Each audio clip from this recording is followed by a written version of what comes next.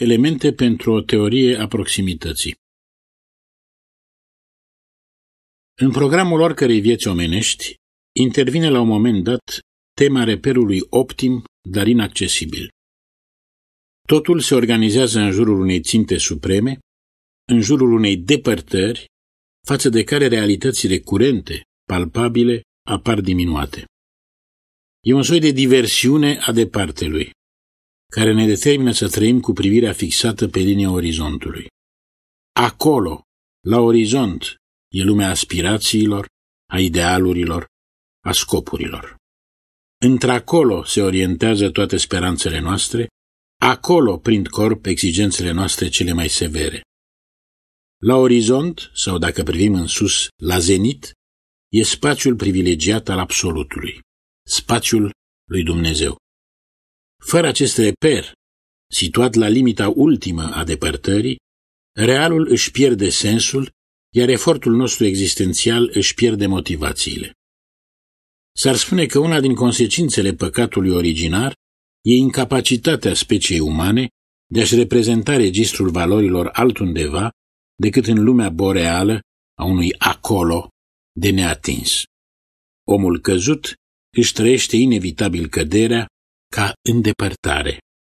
El se simte catapultat la antipodul dorințelor sale și își administrează viața sub presiunea unui neobosit zel recuperator. Până și cel mai umil dintre oameni visează un acolo, pe măsura sa, un proiect, un orizont al împlinirii, devenit obiectul unui asediu neîntrerupt. Există un acolo al credinței, Ierusalimul Ceresc, un acolo al cunoașterii, adevărul absolut, un acolo al vieții zilnice, fericirea. Fără aceste chipuri ale departelui, fără atracția halucinatorie pe care o exercită asupra noastră aceste puncte de fugă ale lumii, ne-am pierde însuflețirea, am aluneca într-un regn inferior. Departele e materia primă a tuturor utopiilor, dar e și intuiția cea mai la îndemână a transcendenței. Acolo se preschimbă pe nesimțite în dincolo. Pe scurt, nu se poate nega rostul stimulator, provocarea benefică pe care acest acolo le implică. Dacă totuși vorbim de o diversiune a departelui, e pentru că departele poate pustii uneori intervalul care ne desparte de el. Absorbiți de țintă, tutelați de prestigiul și de seducția departelui, sfârșim prin a nu mai pricepe lucrurile care ne sunt aproape. Aproapele ne devine străin. Obnubilarea simțului pentru proximitate este corelativul morbid al oricărei metafizici zenitale. Contempli departele legii morale și nu te poți adapta la aproapele unei împrejurări date. Te miști în cerul abstract al conceptului, care e departele, zenitul logic al gândirii, și pierzi substanța realului. Cultivi sublimul sau abisalul și ratezi întâlnirea cu imediatul. Produci metafore și nu mai poți emite simple enunțuri. Într-un cuvânt, poți adopta fără ezitare traiectoria saltului, dar pierzi firescul mersului la pas. Un simptom caracteristic al acestei crize a proximității, care este în același timp o criză a intervalului, e blocajul spiritului în dihotomii. Cine nu gândește din aproape în aproape, sfârșește prin instituirea unor polarități care destramă spațiile intermediare.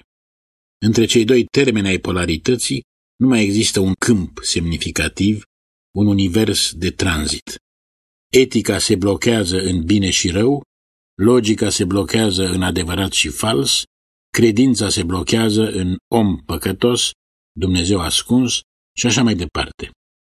Asupra întregii gândiri europene planează de aceea riscul unei monotonii ritmice ucigătoare. Obiect-subiect, materie-spirit, imanent transcendent, real-ideal, un fel de tic-tac exasperant, o cadență soporifică a tot nivelatoare. Criza proximității are asupra spiritului un efect paralizant. Dihotomiile încremenesc în antinomii. Mișcarea vie a gândirii sucombă în idolatrie. Departele monumentalizat te țintuiește locului, te împietrește în exaltarea ta. Stai față în față cu el, separat de el, printr-un spațiu vid, care exclude orice parcurgere. Proximitatea este tocmai începutul parcurgerii, convertirea vidului în interval dinamic, în drum. Proximitatea nu e opusul departelui, e primul pas, pasul decisiv către el. Absolutul încetează să mai fie utopic dacă transformăm distanța care ne separă de el într-o înlănțuire de proximități. Ceea ce e aproape de noi e mai aproape de absolut decât noi. Pentru că aproapele nostru e extensia identității noastre, e sinele nostru lărgit. Sinele lărgit, sinele în expansiune, sinele care se revarsă asupra proximității sale, e singurul, adevăratul partener al absolutului. Absolutul, la rândul lui, trebuie să iasă din umbra depărtării sale pentru a se manifesta ca vecinătate posibilă a omului, ca proximitate. Pentru a ieși din schematismul dihotomiilor, pentru a umple intervalul dintre ele și pentru a depăși criza proximității, rezultată din fascinația idolatră a departelui, se pot imagina și s-au imaginat mai multe soluții. Una din ele face substanța angelologiei, știința îngerilor. Îngerii au această calitate puțin obișnuită de a fi simultan aproape de Dumnezeu și aproape de om. Mai întâi aproape de Dumnezeu. Îngerii constituie prin excelență anturajul divin, curtea cerească, așa cum apare ea în spectaculoasa viziune din primul capitol al lui Ezechiel. Îngerii sunt suportul tronului dumnezeiesc, dregătorii instituției supreme. Ei sunt cei care întrețin cultul Creatorului, slujesc și laudă, organizați în coruri preoțești. Tot ei sunt oștirile lui Dumnezeu. Jehova este Domnul oștirilor, căpetenia lor, și mesagerii lui Dumnezeu. Mulțimea îngerilor e singură capabilă să populeze singurătatea lui Dumnezeu, dizolvând opacitatea lui Deus absconditus într-o multiplă teofanie.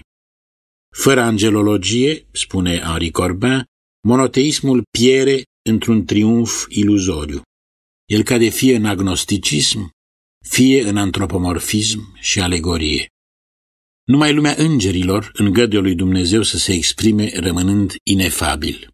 Îngerii sunt limbajul lui Dumnezeu, vocile armoniei sale veșnic zămislitoare, cum spune Böhme în Mysterium Magnum. Ca simboluri ale proximității divine, îngerii sunt mediul privilegiat al revelației, instrumentele manifestării divine. Lucrarea lor este modelarea semeață a energiilor și formelor dumnezeiești, observă tot Iacob Böhme în De Tribus Principiis. Îngerii stau aproape de Dumnezeu și pentru că sunt singurele ființe create care suportă apropierea lui Dumnezeu. Fața mea însă nu vei putea să o vezi, că nu poate vedea omul fața mea și să trăiască, se spune în Exodul. Dar îngerii văd fața lui Dumnezeu. Ei sunt, într-un anumit sens, fața lui Dumnezeu, ecranul protector prin care Dumnezeu se arată creaturilor sale. În Isaia se vorbește despre îngerul care este înaintea feței Domnului. Schelling dedică în vârstele lumii și apoi în divinitățile din Samotrace câteva pagini esențiale acestui înger al feței, vestitor și hermeneut al lui Jehova. E îngerul cărui agnosticii, comentariile rabinice, dar și cristologia primelor veacuri creștine îi dau felurite nume, identificându-l uneori cu Isus Hristos, Hristos Angelos. Angelologia aviceniană amintește și ea de un înger al feței celui sacrosanct, care e tot una cu Arhanghelul Mihail. Dar dincolo de nume, apare mereu în speculația angelologică tema unei prezențe imediat învecinate prezenței supreme. Această imediată vecinătate e destinul oricărei prezențe angelice. Îngerul plutește în atmosfera lui Dumnezeu, sau, cum spune undeva Jacques Lacan, înnoată în semnificantul suprem.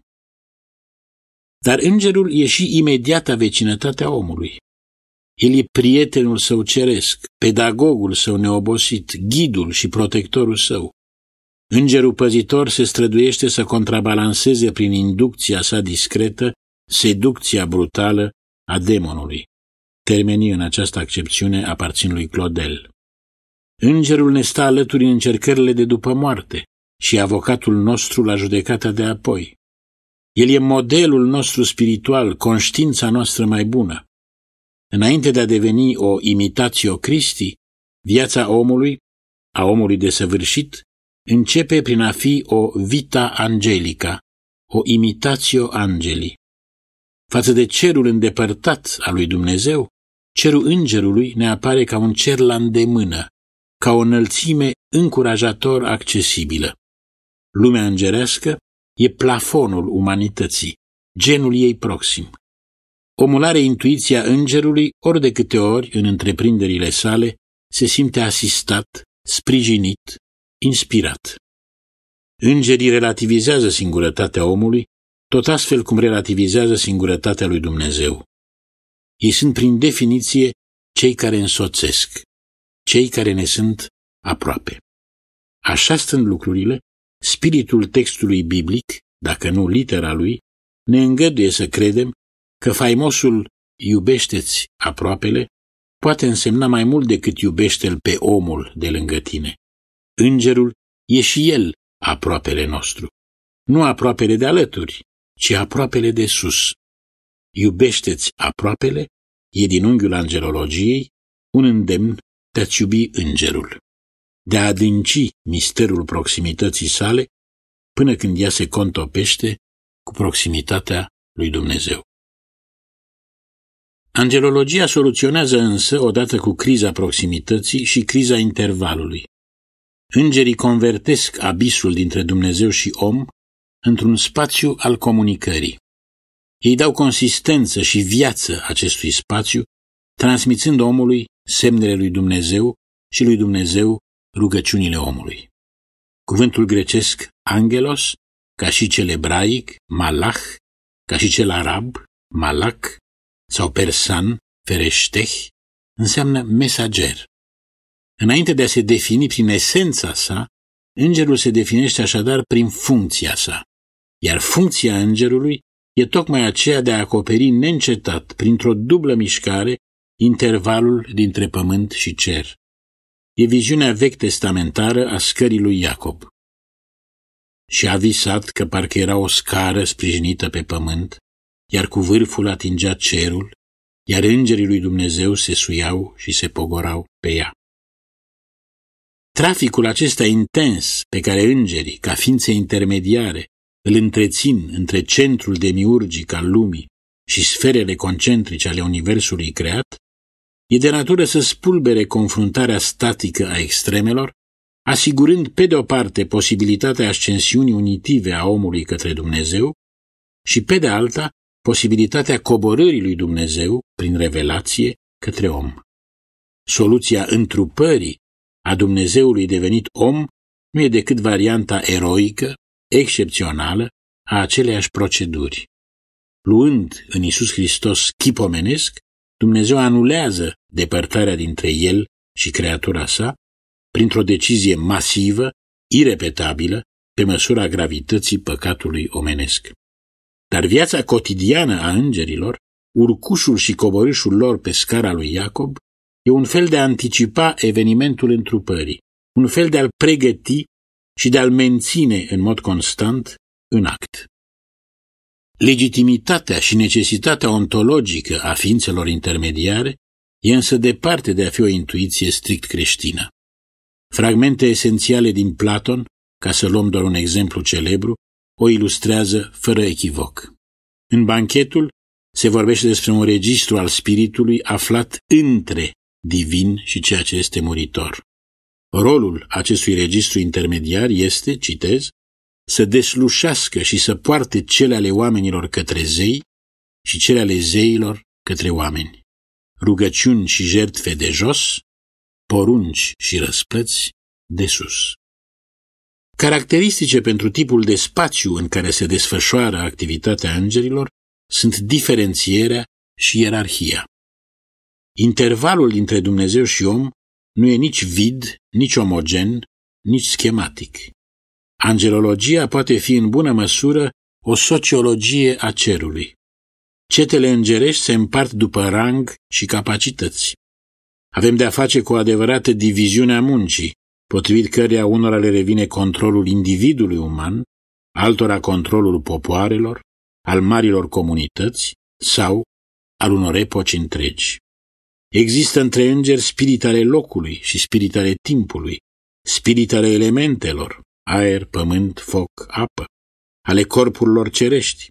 Există îngeri ai mării, ai vieții, ai morții, ai milei, ai iertării, ai pedepsei, ai păcii. În mediile iudaismului târziu, faptul că tot ce există și se întâmplă în natură își are îngerul său, trece drept un adevăr de la sine înțeles. El va fi preluat și de părinții bisericii și de teologia scolastică ca un ecou al acelui totul e plin de zei al milezienilor. Un gânditor din ambianța șiită a secolului al XIX-lea socotește că îngerul e realitatea esențială a oricărui existent aflat în plenitudinea existenței sale. În consecință putem vorbi de îngerul unui peisaj, al unei opere de artă, al unei sinfonii și așa mai departe. Așadar, maximă diferențiere, o diferențiere echivalentă la nivelul lumilor subtile cu diferențierea lumii sensibile. Dar nu numai diferențiere, spuneam, ci și ierarhie. Îngerii sunt organizați după un principiu al subordonării stricte în funcție de gradul de apropiere sau depărtare de Dumnezeu. Universal acceptată e ierarhia de nouă trepte a lui Dionisie Pseudo-Areopagitul. Începând cu cetele cele mai înalte, ale serafimilor, heruvimilor și tronurilor, continuând cu cetele mijlocii ale stăpâniilor, virtuților și puterilor, și terminând cu ceata cea mai apropiată de om, începătorii, arhangheli și îngeri, îngerii propriu-ziși. Ierarhiile cerești, care împrumută uneori stilul ierarhiei curților imperiale, sunt oricum modelul ierarhiilor ecleziastice. Nu lipsește o anumită nuanță parlamentară a lumii angelice. Mari autori patristici, Clement din Alexandria de pildă, continuând tradiții iudaice și grecești, vorbesc despre îngeri de dreapta și îngeri de stânga, administrând în mod adecvat sufletele celor defuncți. Îngerii de dreapta se ocupă de sufletele celor care au apucat să se căiască, îngerii de stânga se ocupă de păcătoșii irecuperabili. Structura ierarhică a oștirilor îngerești implică structura ierarhică a intervalului pe care ele îl populează. Există, cu alte cuvinte, o ontologie a intervalului, o gradație a lui, pe care imaginea scării din viziunea lui Iacob o sugerează în chip nemijlocit. Între Dumnezeu și om există trepte, ceruri, densități ontologice diferite, după cum între om și materia anorganică există regnuri intermediare. Regnurile superioare omului sunt corespondentul simetric al regnurilor care îi sunt inferioare. La câte pământuri, atâtea ceruri. Suntem confruntați cu o geometrie asemănătoare aceleia a ziguratului mezopotamian, probabil cea din tâi reprezentare plastică a lumilor supraterestre, un fel de replică anticipativă, tridimensională, a scării lui Iacob. Ontologia intervalului odată constituită este inevitabil să vedem născându-se tehnici ale parcurgerii lui, tehnici de a fragmenta distanța, transformând-o, cum am spus-o la început, într-o înlănțuire de proximități. Ori îngerii nu fac altceva decât să divizeze depărtarea care ne separă de absolut, să reducă depărtarea aceasta la o suită de segmente plauzibile. Îngerii sunt filtrele cunoașterii mistice. Ei conduc din aproape în aproape spre intuiția lui divin. Ei sunt calea spre tronul dumnezeiesc, metoda oricărei teognoze. Angelologia, ca disciplină a treptelor existente între inteligența omului creat și adevărul creatorului său e o metodologie, poate chiar forma arhetipală a metodologiei. Ea stabilește etapele unui drum și recomandă ghidajul unor ființe intermediare care controlează pragurile dintre etape. Lui Descartes nu-i rămâne decât să secularizeze metoda pe care angelologia o presupune, așezând scara lui Iacob pe orizontală. Tema treptelor, a proximităților succesive, rămâne însă fundamentală. Cel de-al treilea din cele patru principii pe care și le propune ca regulă Descartes sună astfel, citez. A conduce în mod ordonat gândurile mele, începând cu obiectele cele mai simple și mai ușor de cunoscut, pentru a urca încet, încet, gradat, până la cunoașterea celor mai complicate. Cum vedem, Descartes încă vorbește de urcuș, dar în realitate cercetarea lui și a științelor care îi sunt îndatorate e tot mai insistent legată de categoria tipic carteziană a întinderii. Angelologia urcă spre obiectul cunoașterii sale. Descartes avansează spre el. Și în acest tenace progres mental, el nu mai are nevoie de îngeri. Simpli hibrizi, entități arbitrare alcătuite din elemente împrumutate lui Dumnezeu și elemente împrumutate omului, îngerii trec pentru Descartes și pentru lumea modernă în categoria imaginarului. Începe ofensiva dihotomiilor. Un lucru e sau real sau ireal. Imaginarul e ireal, prin urmare îngerii nu există, iar Dumnezeu e din nou exilat în teritoriul nebulos, inabordabil, al maximei depărtări.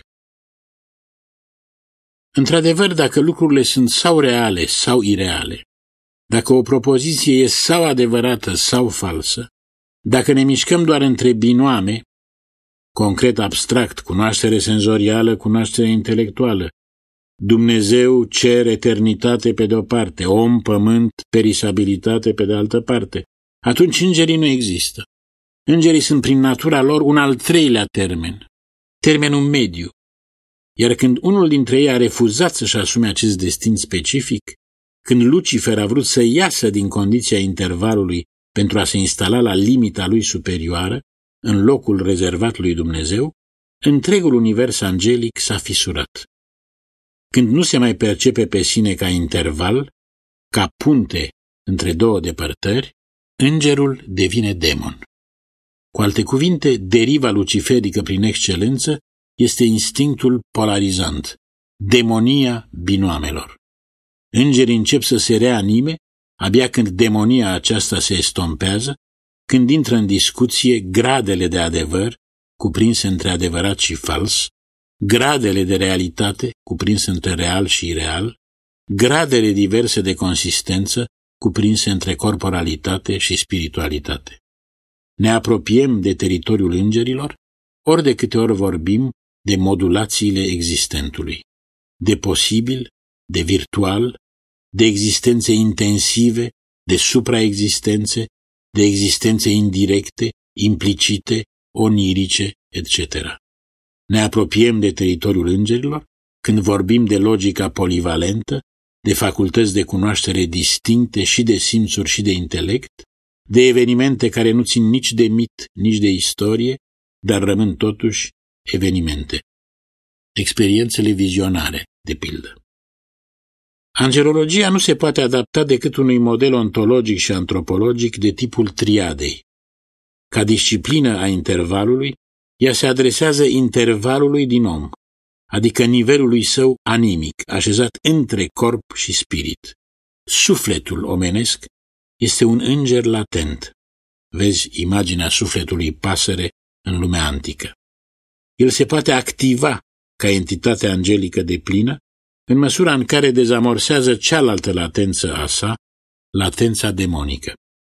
Trecerea de la angelicitate potențială la angelicitate reală e conținutul însuși al efortului ascetic, la capătul căruia călugărul se integrează în metabolismul vieții îngerești și devine prin aceasta isangelos, asemenea îngerilor.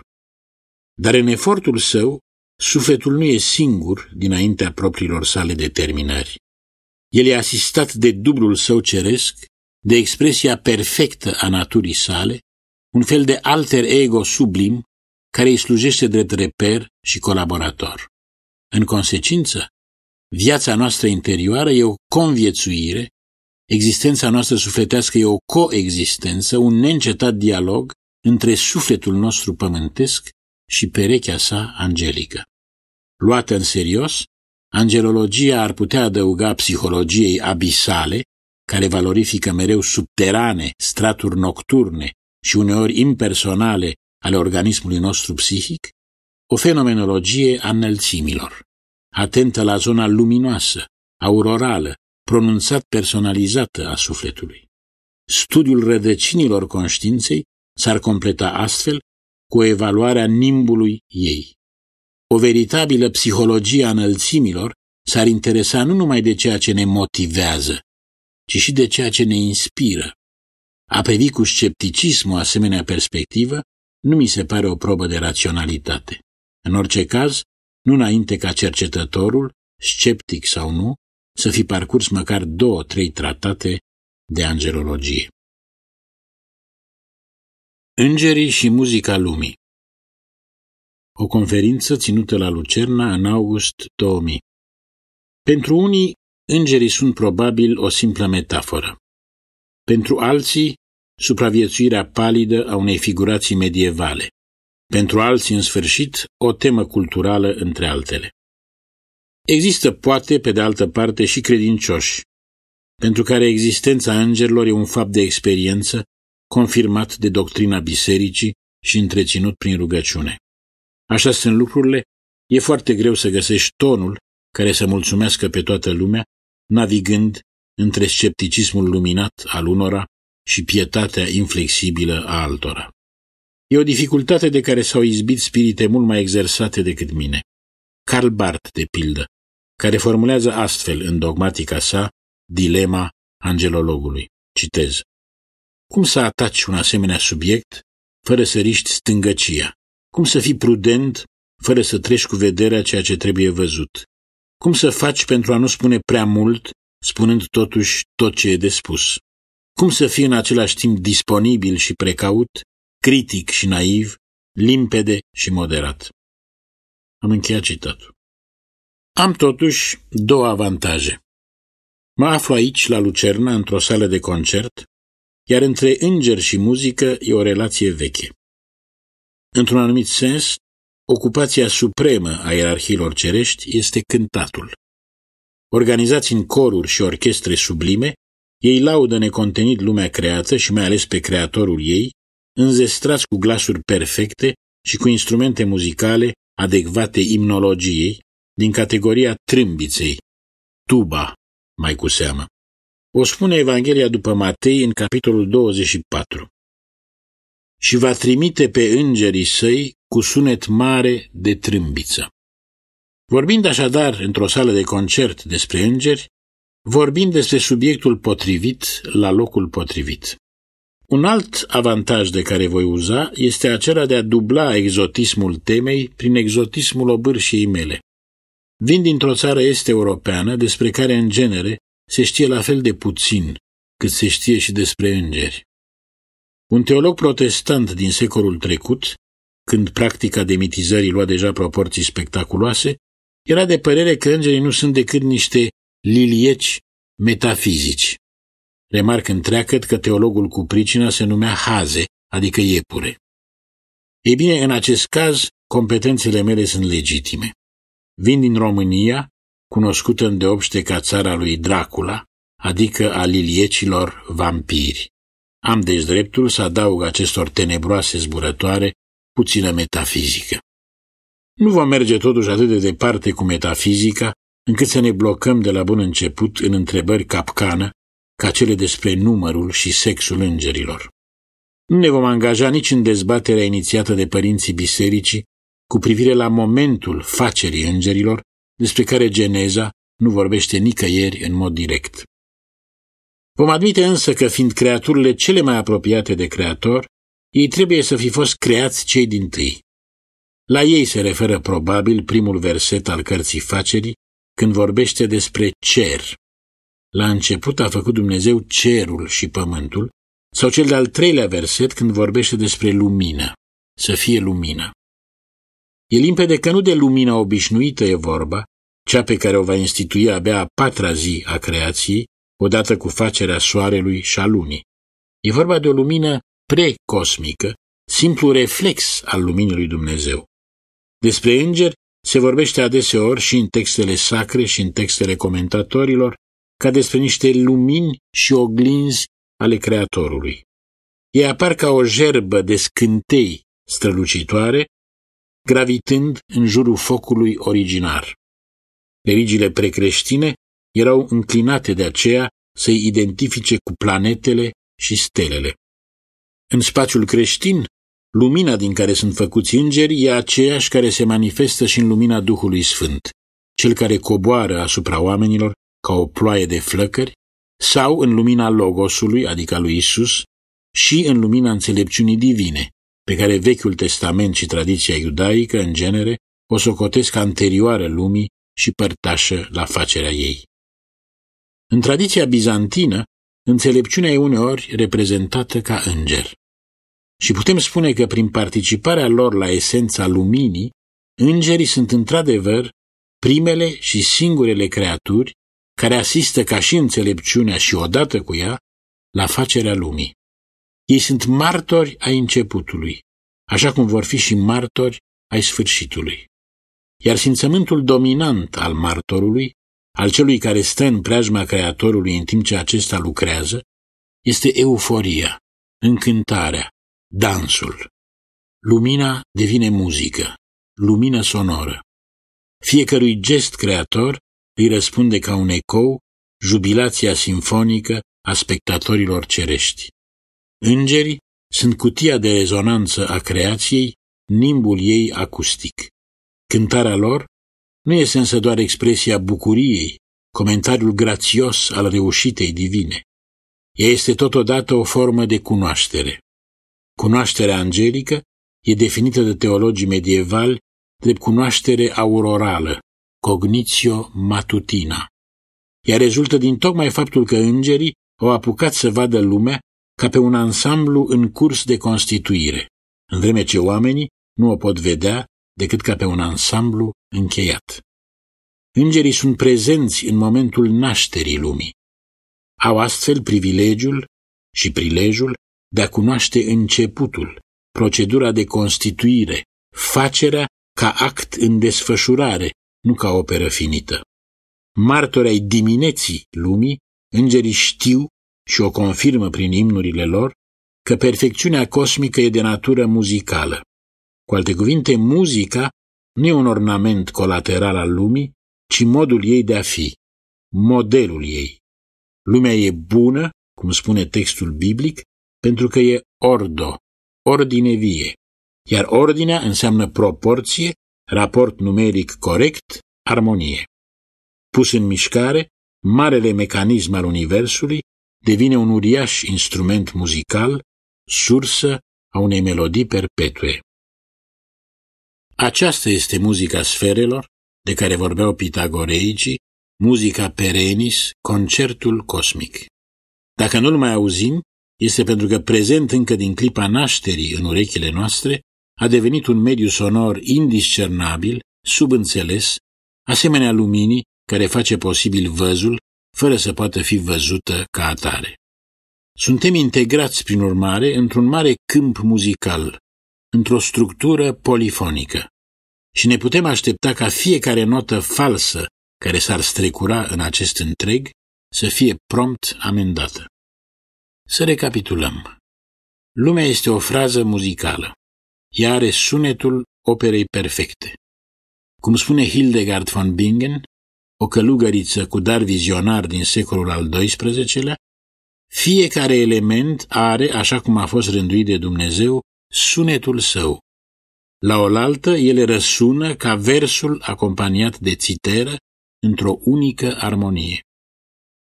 Nu există, prin urmare, nimic creat care să fie mut. Boetius vorbea despre o muzică mundană reflex al unei muzica celestis, supramundană și transsonoră. Muzica mundana produce analogic o muzica humana, care e tot una cu armonia interioară a sufletului. Într-o lume care cântă, individul uman trebuie să se înscrie cu propria sa melodie. Căci, o cităm din nou pe Hildegard van Bingen, sufletul omului e purtător de eufonie și prin natura sa sonor. De aceea el se întristează adesea când își aude sunetul de la începuturi. O imitație a muzicii cosmice și a muzicii sufletelor este și muzica liturgică, ai cărei teoreticieni timpurii iau ca reper performanța corurilor îngerești. Îngerii apar de altfel la tot pasul ca fiind liantul providențial al întregului sistem muzical despre care vorbim. Ei însoțesc sunetul lumii cu un neîntrerupt comentariu laudativ de o mare bogăție tipologică. Sanctus, Gloria, Kyrie, Hymnus, Jubilus, Psaltus, Aleluia. În număr indefinit, îngerii reușesc totuși să funcționeze ca o orchestră unitară. Organizați ierarhic, ei consună pe mai multe nivele, își răspund antifonic, construiesc polifonii savante. Sub impulsul și după modelul lor, totul cântă, pentru că totul e în relație cu o instanță îngerească. Toate lucrurile, spune cartea lui Enoch, își au îngerul lor. Vremurile, anii, marea și râurile, fructele și iarba, zăpada și norii, stelele. Tabloul acesta al lumii păcătuiește totuși prin sublimitate. Putem fi cu toții de acord că proiectul divin a fost un proiect optim, fără fisuri dizarmonice. Dar e la fel de evident pentru toată lumea că nu trăim într-un paradis. În muzica generală se aud des note false. Și oricât s-ar strădui politicienii de bună credință să instituționalizeze exigența armoniei sub nume solemne de instituții globale, efectul general rămâne precar. Umanitatea are frecvent aspectul unui cor în derivă, al unei orchestre prost sau deloc dirijate. Nu se pune problema să inventariem dezacordurile acute și cronice ale lumii de azi. Vom vorbi doar despre dezordinea sonoră provocată în imediata noastră vecinătate de cearta națiunilor, respectiv de stridența naționalismului. În aparență ne îndepărtăm brusc de tema pe care am anunțat-o. În realitate, așa cum veți vedea, vom continua să vorbim despre îngeri. Toți mari învățați ai creștinismului timpuriu sunt de părere că în economia divină fiecare seminție își are îngerul ei păzitor. Nu doar individul uman are prin urmare un înger, ci și poporul din care face parte. Iată în acest sens un pasaj semnificativ din Vasile cel Mare. Știm încă de la Moise și de la profeți că există îngeri înainte stătători ai tuturor națiunilor. Aceste căpetenii și guvernatori, puși să ocrotească și să supravegheze popoarele ce li s-au dat în grijă, sunt fără de număr. Am încheiat citatul. Origen are dreptate să spună la rândul lui că această opinie se sprijină pe mărturia directă a textelor sacre. Profetul Daniel vorbește despre îngerul Greciei și despre îngerul Persiei, care se înfruntă ori de câte ori popoarele lor intră în conflict. Texte asemănătoare se găsesc și în faptele apostolilor, în felurite surse iudaice sau în Deuteronom. Din versiunea Septuaginta a acestuia din urmă aflăm că Dumnezeu a distribuit fiecărui popor câte un înger protector, păstrând pentru sine responsabilitatea poporului lui Israel. Comentarii iudaice la legenda turnului Babel precizează că răspândirea pe întreg pământul a urmașilor lui Noe s-a făcut cu ajutorul unei armate de 70 de îngeri care i-a învățat pe oameni 70 de limbi diferite. Origen consideră și el că la originea limbilor naționale stau îngerii. Suntem așadar îndreptățiți să ne imaginăm că la temelia fiecărei comunități etnice se află un principiu spiritual, un înger, care se exprimă în felul de a fi al respectivei comunități în destinul ei istoric, în limba și cultura ei. S-au făcut de-a lungul timpului tot felul de speculații cu privire la protectorii probabili ai fiecărei țări. Am văzut că Israelul se simte sub controlul direct al lui Jehova. Din alte texte rezultă că rolul lui Jehova e preluat uneori de Arhanghelul Mihael, definit ca înger al Domnului. E interesant și nu lipsit de o anumită ironie istorică să aflăm că dintre națiunile moderne, cea care își revendică același spirit tutelar cu Israelul, adică pe Arhanghelul Mihael, e națiunea germană. Într-o lucrare despre îngeri apărută la Lucerna în 1956, autorul ei, Otto Hoffan, vorbește și despre un înger al Elveției. Citez. Chiar și teritoriul țării mele, Elveția, își are îngerul său păzitor.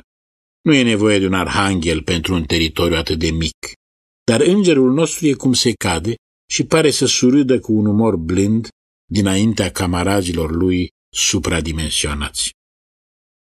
Am încheiat citatul. În asemenea măsură se identifică îngerii neamurilor cu neamurile pe care le păstoresc, încât, potrivit tradiției, ei vor fi chemați să răspundă odată cu ele la judecata de apoi. Faptul că fiecare națiune se află în grija unui înger ar trebui să ne dea un sentiment de liniște încrezătoare. Realitățile ar trebui să confirme acest sentiment, în așa fel încât istoria lumii să arate ca o perpetuă petrecere câmpenească. Părinții bisericii s-au întrebat însă și ei, cum ne întrebăm și noi astăzi, cum se explică războaiele, ura interetnică, deriva temporară a câte unei națiuni înspre inumanitate. În mare putem vorbi de trei răspunsuri posibile. Unul este al Sfântului Pavel. Există și îngeri căzuți, care la un moment dat se substituie protectorilor inițiale ai popoarelor. Ei devin stăpânitorii acestei lumi și se străduiesc să îndepărteze pe oameni de Dumnezeu. Un al doilea răspuns se referă la strategia generală a îngerilor, fie că sunt ai individului sau ai unei colectivități. Ei au însemnate puteri spirituale, dar nu pe aceea de a manipula voința omului. Darul suprem oferit de Creator creaturii sale este libertatea. Iar pentru ca omul să fie liber interior, el trebuie să aibă posibilitatea de a alege între bine și rău, cu riscul implicit de a alege răul. La fel popoarele. Îngerii lor nu au dreptul să le îngrădească în vreun fel liberul arbitru. Asta înseamnă că orice popor își poate nesocoti, dacă vrea, tutela angelică, lăsându-se ispitit de impulsuri inferioare. Mai interesant din punctul meu de vedere este însă un al treilea răspuns. Poți greși nu numai întorcând spatele îngerului, ci din potrivă idolatrizându-l, acordându-i o obediență și un cult care în mod normal nu se acordă decât lui Dumnezeu. Acest tip de eroare repetă întrucâtva eroarea îngerilor căzuți. Cauza căderii lor a fost pornirea orgolioasă de a uzurpa tronul tatălui, sentimentul că sunt egali cu el. Eroarea naționalismelor agresive constă și ea în supradimensionarea instanței naționale, în amplasarea valorilor ei deasupra tuturor celorlalte valori. Națiunea ia locul iubirii de aproape, ia locul înțelepciunii, ia la urma urmelor locul lui Dumnezeu. Când națiunea devine un absolut, absolutul devine relativ. Uităm că patria noastră este, cum spune apostolul Pavel, în ceruri și facem din așezământul nostru pământesc un templu idolatru, o limită opacă, singura rațiune de a fi a vanității noastre. Trebuie să spunem că Noul Testament amendează doctrinar un asemenea derapaj. Apariția lui Hristos are, între altele, semnificația unei masive atenuări a rolului pe care l-au de jucat îngerii în istoria oamenilor. Textele spun în mod explicit că Isus își subordonează cetele îngerești, prelundu-le funcția. El este de acum înainte marele mijlocitor între Dumnezeu și om. El devine interlocutorul ceresc al fiecărui individ și al fiecărei națiuni. Hristos se manifestă ca un principiu unificator care pune între paranteze multiplicitatea îngerilor. În fiecare gest și în fiecare vorbă a lui se propune modelul unei comuniuni de alt tip decât cea de sânge, o comuniune spirituală al cărei temei e de ordin universal, supraetnic. Diferența dintre lumea veche, dominată de îngeri, și lumea nouă a Revoluției Cristice este diferența dintre legiunea națiunilor și omogenitatea comuniunii în duh. În vreme ce îngerii națiunilor puteau intra în conflict, puteau încuraja excesul diferențelor specifice dintre neamuri, Isus readuce în prim plan importanța genului proxim, a asemănărilor. Efectul acțiunii sale e prin definiție pacificator. Oștirile angelice trebuie să accepte o nouă ordine politică, ordinea unei pax mesianica despre care se vorbește cu deosebire în epistolele pauline. Cei care, după întruparea lui Hristos, continuă să sacrifice spiritelor naționale, sunt în eroare. Păcatul lor este anacronismul. Ei se comportă ca o sectă politeistă pe fondul unei masive consolidări a monoteismului. Insist asupra acestui aspect al creștinismului pentru că adeseori, tocmai în numele lui Hristos, se abuzează de o barbară retorică naționalistă.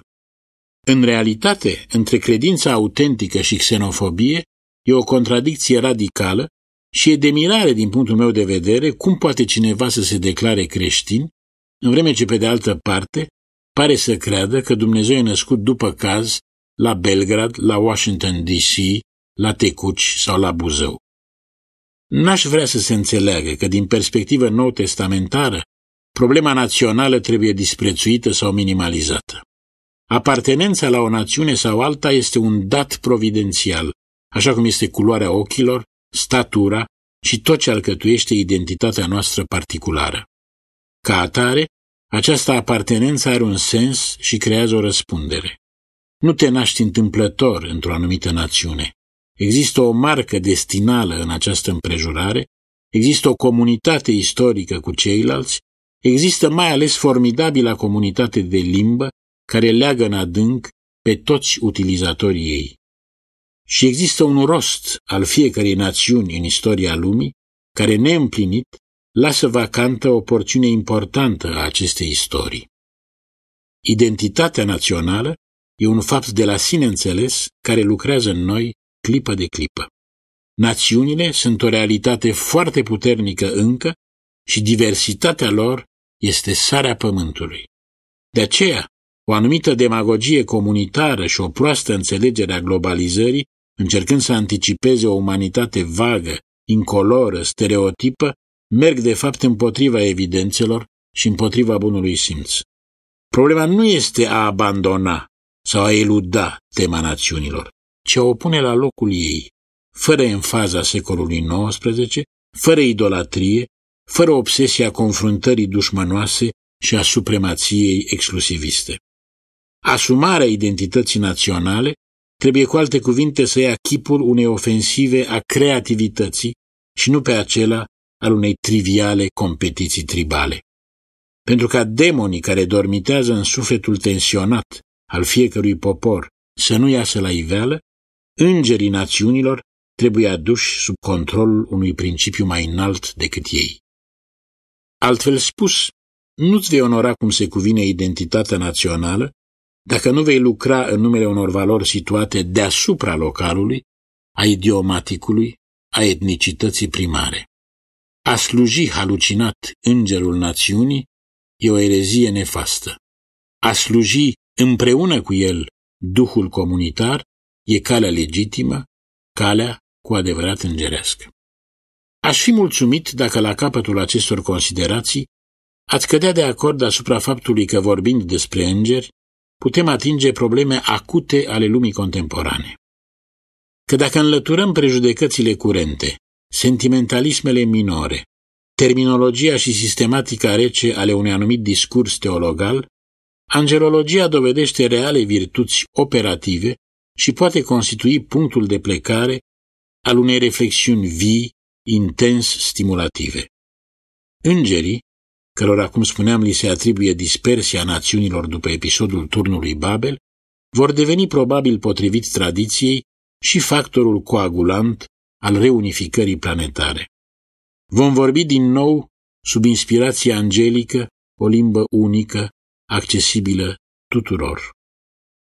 Va fi această limbă, cum crede Origen, ebraica? Va fi poate o încă necunoscută limbă a îngerilor? Dar există deja un limbaj pe care îl înțelege toată lumea, indiferent de naționalitate. E limbajul muzicii, un adevărat idiom universal, concurat în ecumenicitatea lui numai de limbajul artelor vizuale. Orice concert e de aceea anticiparea comuniunii finale de la sfârșitul timpului. Și orice sală de concert e totodată o sală de repetiție a îngerilor. Se spune că trupul îngerilor este acoperit de ochi. Într-o sală de concert, el e cu siguranță acoperit de urechi. Karl Barth nu s-a sfit să aproximeze chiar și preferințele muzicale ale cântăreților nevăzuți. Când sunt în fața tronului divin, ei cântă Bach. Când rămân între ei, cântă Mozart. Fragmente despre îngeri Substanța relației dintre om și îngerul lui păzitor, spune Sergei Bulgakov, este iubirea. Din păcate, termenul a devenit prin suprafrecvență și sentimentalism aproape inutilizabil. Invocată la tot pasul, în cele mai diverse împrejurări, iubirea sucombă în propria ei sublimitate. Spui iubire și toată asistența surâde duios, pradă unei emotivități difuze. Se subînțelege că s-a spus ceva foarte frumos, ceva esențial, ceva despre care tot omul are o idee foarte limpede. Cuvântul are un asemenea prestigiu încât se poate dispensa de analize și definiții. E chiar o blasfemie să raționalizezi ceva atât de înalt, de nobil, de misterios. Știm foarte bine ce e iubirea. Nu e om să nu fi iubit măcar odată. Viața nu are niciun rost fără iubire. Și așa mai departe. Corelația I love you, I love you too a ajuns în filmele americane un fel de ce mai faci. În realitate, ne confruntăm cu unul din cele mai nebuloase concepte ale discursului cotidian. Și cu cât e mai nebulos, cu atât e mai frecvent. Ferească Dumnezeu să te bâlbâi când ești întrebat, din gene, mai mult decât din buze, mă iubești? Puțini sunt îndrăgostiții, oricât de ignari, oricât de atei, care să nu-și amintească brusc, în momente decisive, de Corintien 13. Sfera iubirii este atât de cuprinzătoare, încât e aproape imposibil de sistematizat. Iubirea e și afectul dintre femeie și bărbat, și cel dintre părinți și copii, și cel dintre rubedenii de diferite grade sau dintre prieteni. Există iubire carnală, mai mult sau mai puțin vinovată, există iubire spirituală, iubire romantică, iubire egoistă, etc. Îți iubești patria, meseria, casa și tabieturile. Îl iubești firește pe Dumnezeu. Nimeni nu poate contesta realitatea și legitimitatea tuturor acestor tipuri de iubire. Dar iubirea de care e vorba în Scriptură, fără să excludă vreuna din versiunile ei cotidiene, e altceva. E o altă iubire, mai complicată și mai rară. Ea nu e atât de democratic răspândită, nu are întotdeauna spontaneitatea iubirii obișnuite, căci nu e naturală, ci suprafirească. Ea se distinge mai curând printr-o formidabilă exigență. Se construiește. Da, se construiește, oricât s-ar simți de jigniți apologeții firescului, ai simplității, ai inflamației iraționale, se construiește trudnic la limita imposibilului. Iubirea spre care îndeamnă Scriptura e principial o iubire imposibilă și fără motivații vădite. Ce vreau să spun? Vreau să spun că, de pildă, e foarte normal să se vorbească despre o iubire a părinților pentru copii și a copiilor pentru părinți. La fel de normal e să-ți iubești prietenii, femeia de care te-ai îndrăgostit, maestrul care te-a format, profesiunea care te împlinește. Pentru toate acestea, ca și pentru altele, ai întotdeauna bune rațiuni explicative. Cealaltă iubire, cea de tip scripturar, nu are asemenea rațiuni. Ea apare fără să fie susținută de argumente palpabile, fără motiv, ba chiar împotriva oricărei motivații rezonabile.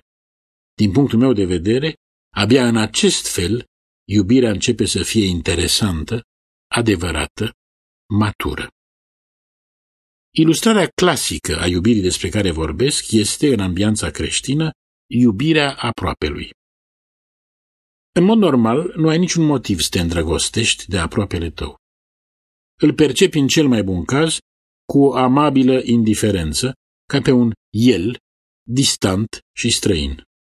Ei bine, ți se cere să intri în comuniune afectivă cu acest străin, să depășești neutralitatea strictei sociabilități, să te investești în el ca în tine însuți. Iubește pe aproapele tău ca pe tine însuți e o vorbă mai întortocheată decât pare, deși e citată frecvent ca un subînțeles elementar al moralei creștine. În genere, ca pe tine însuți, e luat drept o formă de superlativ. Se pornește cu alte cuvinte de la presupoziția că ne iubim enorm și suntem invitați să aplicăm și aproape lui același tratament.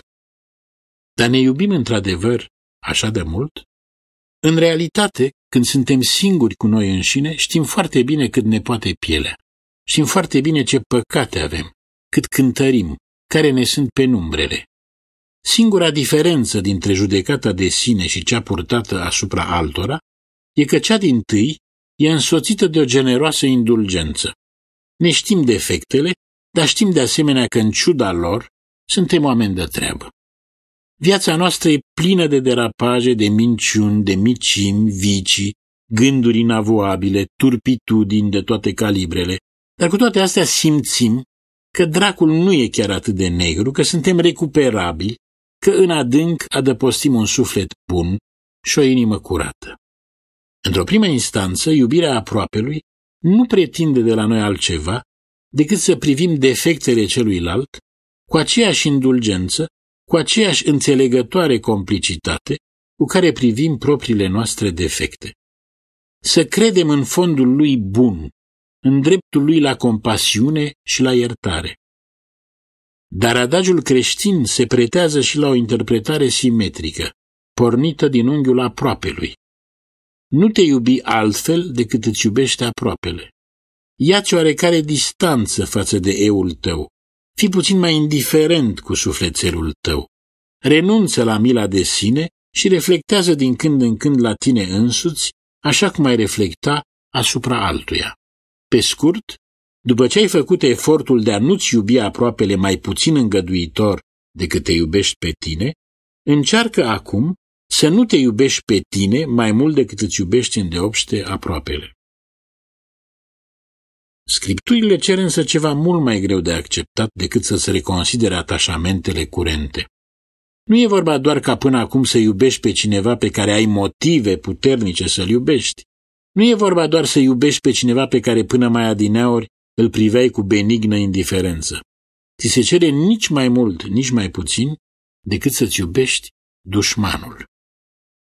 Asta e pentru conștiința comună ceva foarte greu de asimilat. Să o spunem pe șleau. E imposibil. Ori tocmai asta ai de făcut dacă e să te apropii cât de cât de cealaltă iubire, cea pe care o propovăduiesc Evangheliile. Cum însă să-l iubești pe vrăjmașul tău pentru el însuși? Nu suntem în plină utopie erotică? Nu e oarecum pervers ca atunci când ești înconjurat de ură să simți crescând în tine efluvii de iubire? Pentru a depăși această perplexitate, trebuie ca între mine și dușmanul meu să existe un teritoriu de conciliere distinct de contorsionata noastră psihologie. Trebuie să mă pot sprijini pe altceva decât pe el însuși și pe mine însumi pentru a tempera irepresibila noastră pornire adversă. Altfel spus, trebuie să identific o nouă dimensiune a relației noastre, o dimensiune care să ne cuprindă pe amândoi. Dacă între mine și dușmanul meu apare un al treilea, separat de noi, dar nu străin de noi, sub a cărui benevolență să ne putem întâlni, atunci relația noastră devine plauzibilă. Acest al treilea, acest mesager al împăcării, delegat prin natura lui să ne păzească de ispite schimonositoare, să educe în noi facultatea de a iubi după modelul iubirii celeilalte, dumnezeiești, este potrivit părinților bisericii îngerul. Una din sarcinile lui e tocmai aceea de a aduce între oameni bunăvoire. E peste puterile mele să contemplu senin portretul vrășmașului meu. Dar dacă mă pot raporta la îngerul lui, la dublul lui ceresc, pe care el îl contrariază la fel cum și eu îl contrariez pe al meu, mă liniștesc. Și eu și dușmanul meu, fiecare cu insuficiențele sale, participăm la aceeași desfigurare. Proiectele noastre existențiale, modelele noastre cerești, sunt în proporții diferite, neîmplinite, nesaturate, iar conflictul nostru nu face decât să adâncească eșecul. Dar în acest eșec comun putem găsi un început de apropiere. Ceea ce umanitatea noastră desparte, angelicitatea noastră apropie. Nu poți iubi grimasa dușmanului, dar poți avea o mișcare de dragoste către chipul îngeresc care îl protejează și care, spre deosebire de tine, nu poate să nu-l iubească. Fiecare înger își are clientul lui. Fiecare înger își iubește clientul, oricât de nevolnic ar fi acesta. Și în această dedicație necondiționată a lui se întrezărește odată mai mult calitatea indicibilă a iubirii celeilalte, imposibilă și inargumentabilă. În ezoterismul islamic se vorbește despre trei etape ale căii mistice care, într-un anumit sens, sunt trepte crescătoare ale iubirii. Prima e treapta prudenței lumești, în care deosebești net între cei al tău și cei al altuia. Ce al meu e al meu, ce al tău e al tău. Urmează o a doua treaptă, în care are loc o primă ieșire din sine, un glisando semnificativ către celălalt. Ce al tău e al tău, iar ce al meu e tot al tău. Treapta aceasta se consumă în chimia intimă a îndrăgostitului, independent de participarea perechii sale. În sfârșit, pe o a treia treaptă, distinția dintre al meu și al tău dispare. Între parteneri se naște o perfectă omogenitate, o contopire intensă, aproape o ștergere a chipului. Îmi aduc aminte că, fără să știe sufism, Constantin Noica avea felul lui de a spune ceva asemănător. Reclama uneori mediocritatea formulei ce ție nu-ți place, altuia nu-i face. I se părea de un minimalism inacceptabil. Ar trebui să se spună măcar, fă și altuia ce-ți place ție. E mai generos, mai nobil, dar formula ideală ar fi, fă altuia ce îi place lui. Și versiunea islamică și cea nicasiană culminează cu o pierdere de sine, cu o deversare în celălalt. E una din definițiile tradiționale ale iubirii. Dar pierderea de sine e doar o jumătate, prima jumătate din mișcarea ei respiratorie. Dacă lucrurile se opresc aici, dacă după solve nu urmează coagula, iubirea rămâne o pură disoluție a eului un soi de posesiune mediumnică. Ciclul complet al faptului de a iubi include un al doilea timp, o reintegrare a persoanei, o regăsire de sine în variantă îmbogățită. Acesta e modelul iubirii dintre om și înger. Trebuie să te pierzi în îngerul tău pentru a descoperi conturul personal al umanității tale, după cum îngerul trebuie să se piardă o clipă în umanitatea ta pentru a se întoarce împlinit la splendoarea angelicității sale.